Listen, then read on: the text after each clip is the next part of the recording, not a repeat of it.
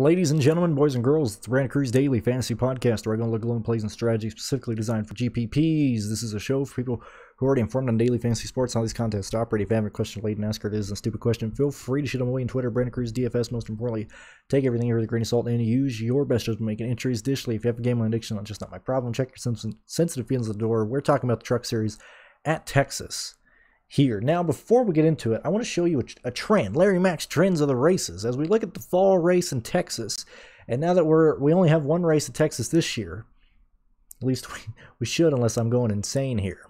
Yeah, we only have one race this year in Texas. We've we've already seen, and I talked about in Dirtier podcast a little bit, that we're seeing cautions almost throughout every series towards the end of every race. Like I'm tomorrow, Friday, I'm, I'm probably going to spend a while really trying to pinpoint when most cautions are coming out and trying to actively build lineups for late race chaos and stuff. I just need to do that in general. We've seen that becoming more and more relevant, but specifically Texas Motor Speedway for the truck series has been a wreck fest.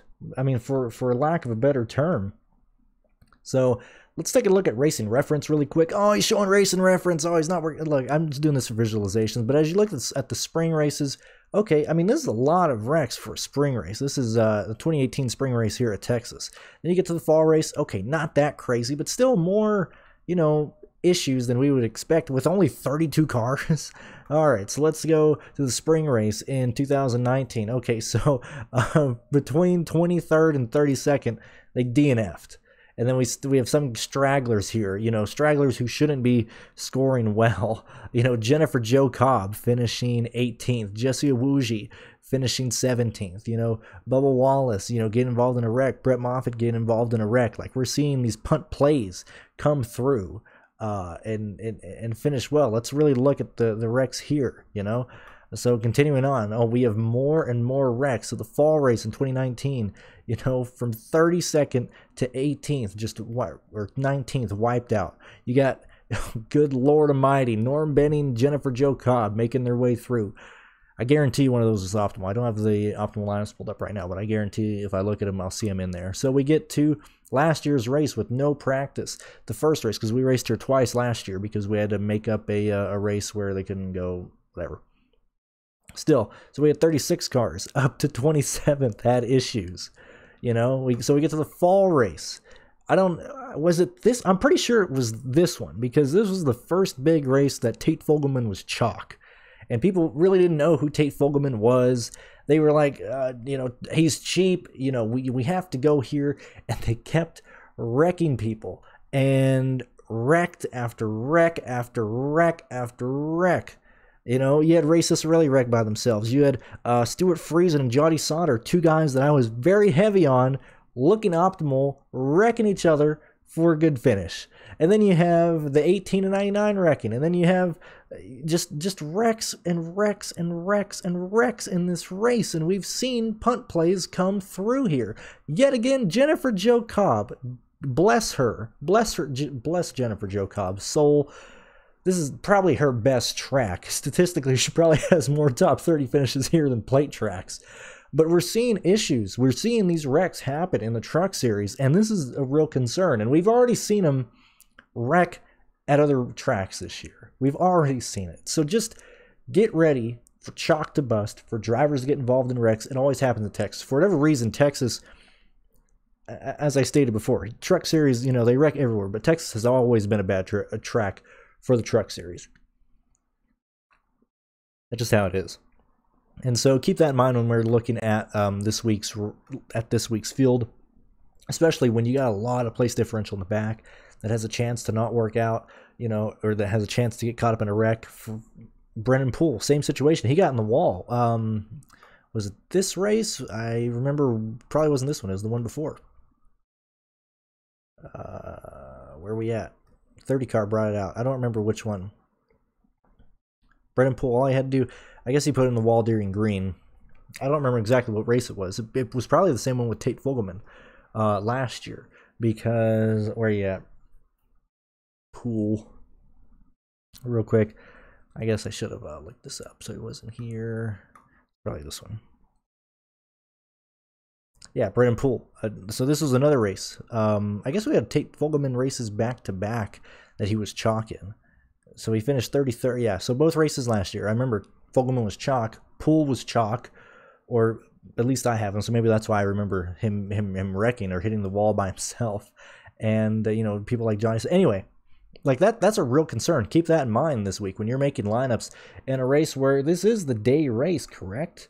Let me check really fast here.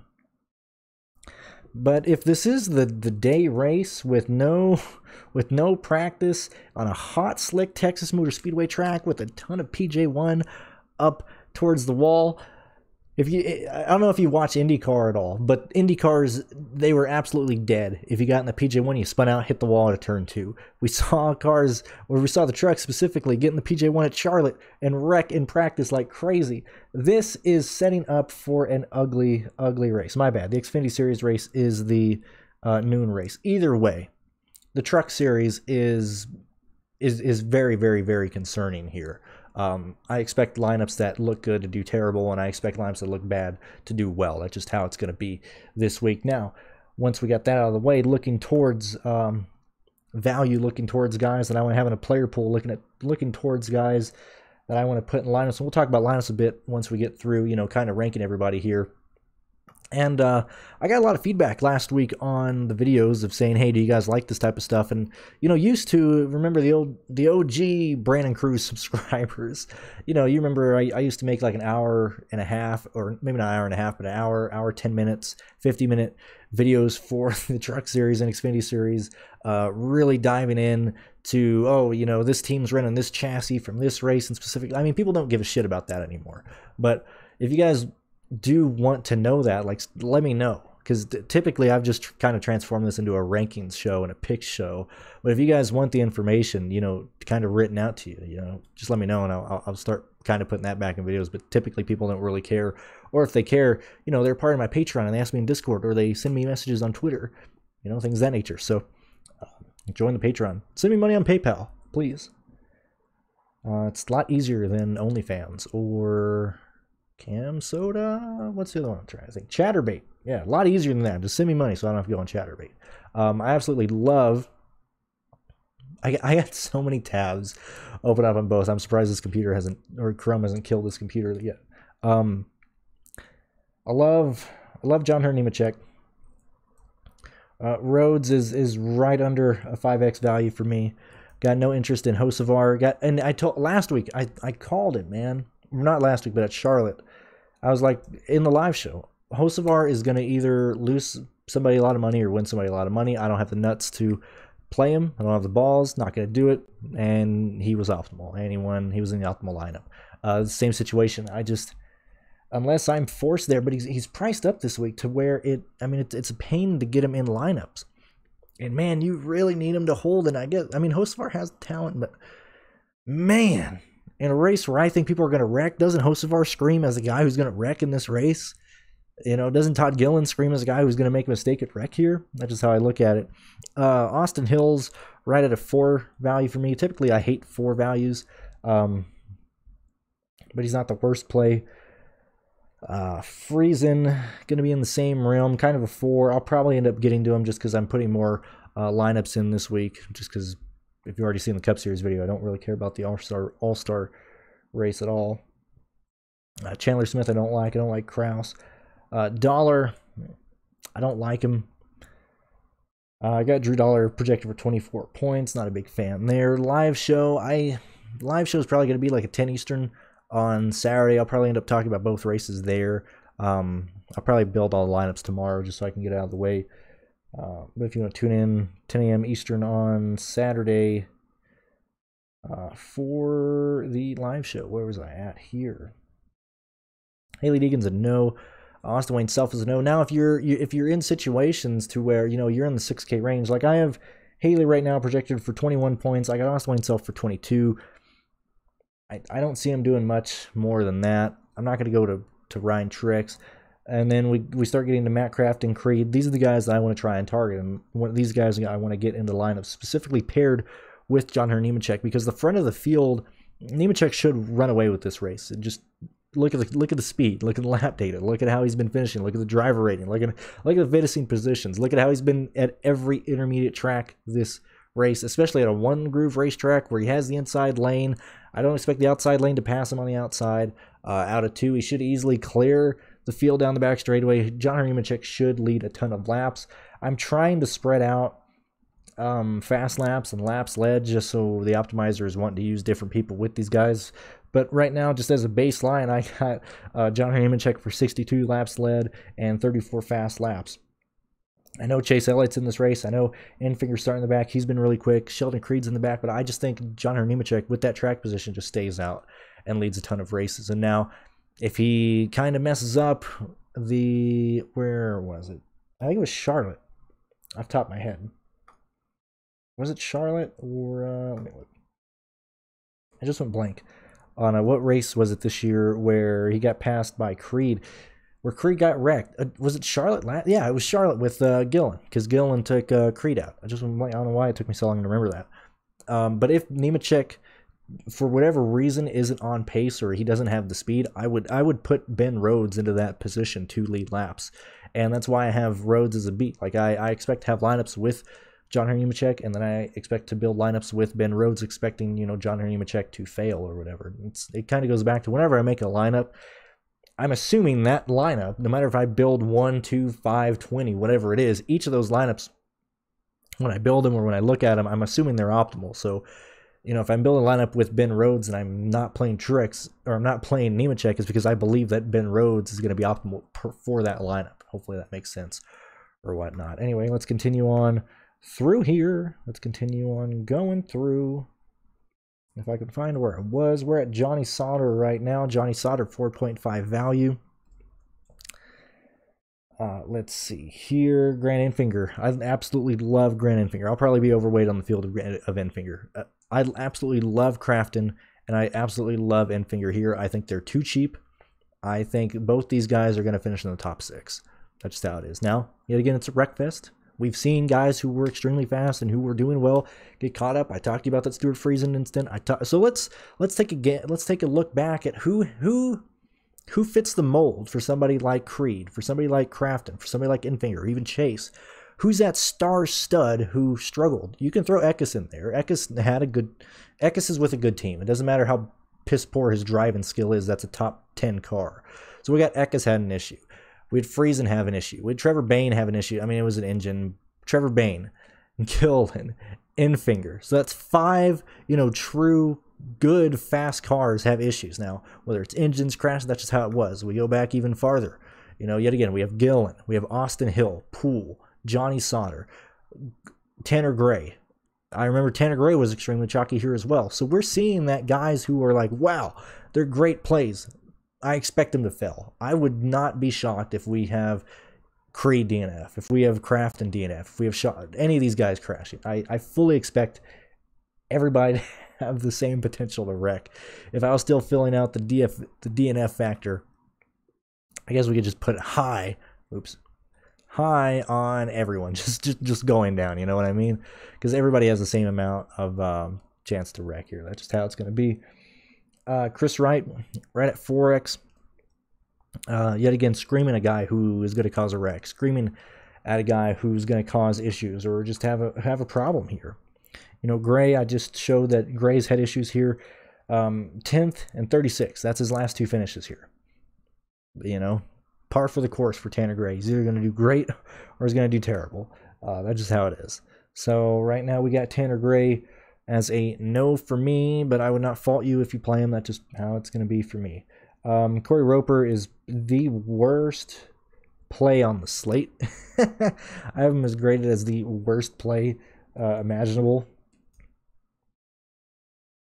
So here's another thing, and it I haven't been able to find anything. Normally I can find them either through Racing Reference, but they got through they got rid of the comments there, or through Twitter. But people really haven't been talking a whole lot. I know uh, Brad Keselowski, not Brad Keselowski, Brad Keselowski. Let me see if I can bring up that tweet really quick. It's relating to um, the purse for Texas. I know for a fact that the Xfinity Series typically has their larger purses for the intermediates here at Texas. I believe it's still the same for the Truck Series here. And maybe, what the heck, why is Brian Keselowski not popping up here? I put brain. It would help if I would spell his name correctly. Um, let me see if I can find it. Yeah, so what is he? He's uh Brian Keselowski. And say what you will about Brian Keselowski. If he was great, he wouldn't be getting fired from everybody's team. But he he does have some you know good uh, things to bring up every now and then. So Brian Keselowski, go figure. Truck race ends up not even having 40 cars, but I bet next week is 44 or more. Weird season so far. Some stuff just doesn't make sense. We are bringing a really nice piece. Um, hopefully, we get some decals on it. I'm assuming he's referring to the purse there because he, he he's surprised that this one just isn't having a lot of people here versus you know other like even I was kind of shocked. Normally, a lot of people try and qualify for the Texas races in the lower series, so I'm still going to assume that Texas. Let me look through. Let's do it together really quick. Let's. Oh yeah, here. Uh, I probably have the purse right here. So let's just compare really quick. I'm sorry, I'm all over the place in this video. I told you it was going to be an hour. I said on Twitter, I said I told you guys on Twitter we're going to be here for an hour because we're going to put more time and effort into the uh, uh, into the races here. So let's let's just take a gander at the purse really quick. Uh, Fort Worth, almost six hundred. Certainly. Uh, uh, Chicago, maybe due to the fact that they're in Chicago, but certainly on the higher end of the purses, on the higher average. Even uh, even Fort Worth's paying higher than you know Charlotte back in the day.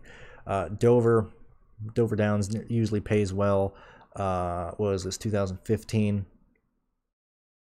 Kind of shrunk in 2014. Last time it here, nearly that's a lot of money for the Truck Series race. That's a that's a ton of money for Truck Series. So if we got to imagine that they're still paying that out here, which I know they have been. I'm um, just trying to confirm for this week. I, this is probably one of the better paying purses for uh, the Truck Series. Let's just see what these guys are getting paid. I, I always like looking at. I wish they'd still show us what they make.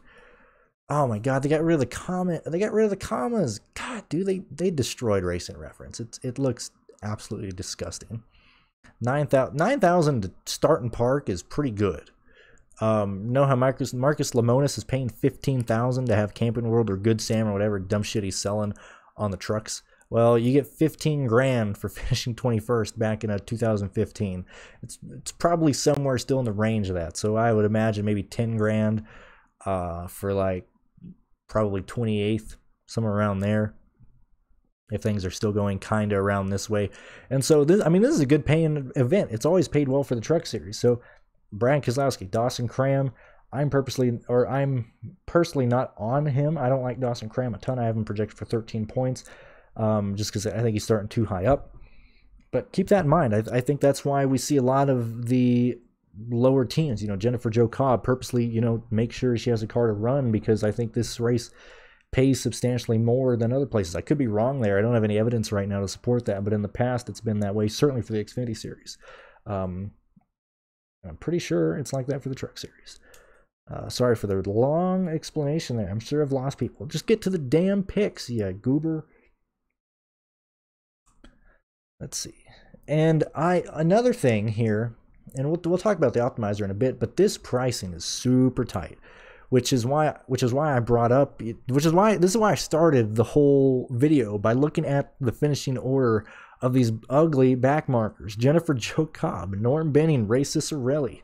When you're trying to fit in all these 10K guys and everything in a race where I believe it's still going to be a wreckfest in some form or fashion, I have, I don't mind even Iwuji, a Woogie, a Woogie.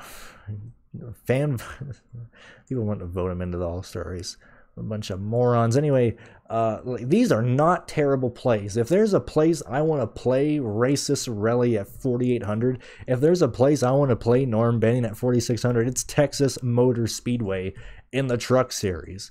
So keep that in mind as well. I know they look horrible. I don't have these guys project to do well right now because i can't i I have to project, you know, like Norm Benning in a case that there's no wrecks. Just otherwise, if I give him, you know, eight positions because I'm projecting for wrecks, it's going to want to shove him in everything. Right now, I'm giving Norm Benning one position, eight DraftKings points, but I know it's going to be higher than that, especially if there's wrecks. And so I do not mind playing these back markers in the back. So keep that in mind. Don't be scared if you end up there. I certainly don't mind punting because punting has been uh, optimal and it's been it's done very well here at Texas Motor Speedway. And I expect these morons to continue wrecking. Brennan Poole's back. Thank you. I like Brennan Poole. I killed derailed. Same thing with Chase Purdy. I don't hate these guys. I, I do not hate these guys at all. Iwuji is hard for me to is hard to sell. I'm not going to play Howie. Tate, if the ra- I feel like Tate's going to wreck. I I god dang know it. I I do not mind these guys in the back in a wreck fest. Don't go overboard on them. But I think I think nearly all my lineups are going to have in and out of these guys just because I'm going to be chasing, you know, Chastain, Elliott, John Hunter Nemechek, and you need a punt there. Uh, Josh Berry, I don't think Josh Berry works, uh, only due to the fact that if he's getting positions, excuse me, and he's in the uh, the Rackley car, whatever the the Timothy Peters one. I don't know why Timothy Peters got pushed out of that car. It's the car, not Timothy Peters. But anyway, Josh Berry's in that. Uh, I don't think he's going to do that well, but in a race where there's going to be wreckfest, maybe you feel safer in, in Josh Berry. You know, I know it's going to sound stupid, but head to head, Josh Berry or like Ray Ciccarelli, I'll take the discount for Ray Ciccarelli. That's just how it's going to be there. I will I will happily happily play Ray Ciccarelli. So looking at early, you know, lineups or looking at how everything's wanting to go, where are we looking at right now? It's telling me I got to play Ray Ciccarelli. I got to get to Norm Benning. I got to get to people like Tate Fogleman. I got to get to people like Jennifer Jo Cobb. It's actually liking Jennifer Jo Cobb more um, than I thought it would. But it it's saying play these ugly ass back markers, man. Play these ugly, ugly mother truckers. And there's there's an argument to be made that I think I think Fogleman's going to be chalky because he's starting here, and everybody's like, "Oh, I got to jam in these these back markers."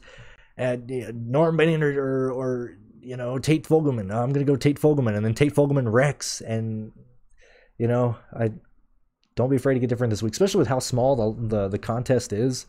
I I really really like this lineup, but right now it, it's telling us play uh, Chase Elliott, Matt Crafton, uh, Sheldon Creed together, and it's like you know Matt Crafton, um, uh, Grant Enfinger, you know uh, Johnny Sauter, even you know John Henry Nemechek. Like it, it's looking for the place differentials. It's looking for the guys who should run well, who should finish in the top ten when this race, you know, inevitably goes green and then wrecks at the end. But people like John Henry Nemechek, people like Matt Creed, uh, or Matt Creed, Matt Craft and Sauter. You know, it, it's these guys that I love here. Um, I'm not gonna hate myself if I end up playing Dawson Cram. I'm not gonna hate myself if I end up on Ryan Truex when I'm going through lineups tomorrow, but that's just how it's going to be. I'm, I'm focusing on the place differential here, and hopefully I can just make enough lineups to cover myself uh, when these guys, uh, you know, choose to really tear up some shit later in the race and, and, and wreck the field. That's how we're looking at it right now. Um, yeah, I I fully expect I expect this race to be a wreck fest. I think that's how it, it might be late in the race. Just something's gonna happen. It always happens at Texas. Like it's it's an outlier of how many cars get torn up at Texas in the truck series. So keep that in mind when you're building lineups. Um, I know it's going to hurt somebody's lineup. I, I just know it. I just know it. I thought this race. I thought this was going to be a longer video, but I think I covered everything there. And so um, check out the Cup Series video when I basically tell you to not play money, to not play the contest, not play the slate, and then look at the Xfinity Series video whenever that gets uh, put up. Thank you guys for checking me out, and we'll see you later. Donate PayPal, so I don't have to sell my body online.